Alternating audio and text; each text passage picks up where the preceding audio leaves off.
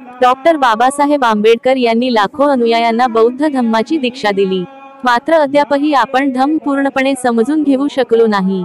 येणाऱ्या जनगणनेमध्ये देशातील बौद्धांची खरी लोकसंख्या जगाला दाखवून.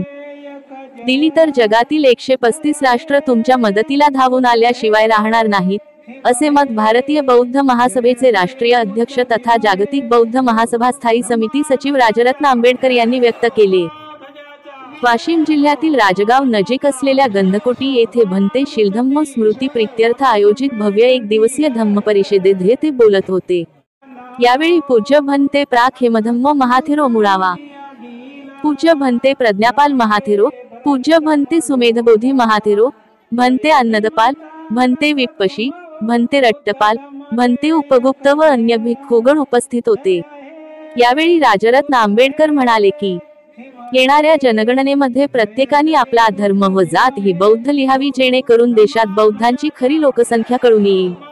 अशा वेळी प्रत्येक बौद्धांनी दक्षता घ्यावी असे ठराव त्यांनी मंजूर केले. सुमारे दहा ते बारा हजार लोक या कार्यक्रमाला उपस्थित होते. कार्यक्रमाला वाशिमसह अकोला अमरावती हिंगोली बुलढाणा व अन्य जिल्ह्यातून आंबेडकरी अनुयायी हजर होते. विनोद डेरे लोकशासन न्यूज वाशिम. जय भीम तारक तुम बुद्ध धम्म देयक जय।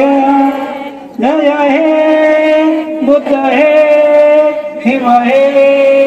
जय जय बुद्ध भीम हे दोन धम्मा ध्वजाचा धम्मा ध्वजाचा विजय ध्वजाचा विजय भगवान बुद्ध की। बाबासाहेब आंबेडकर की।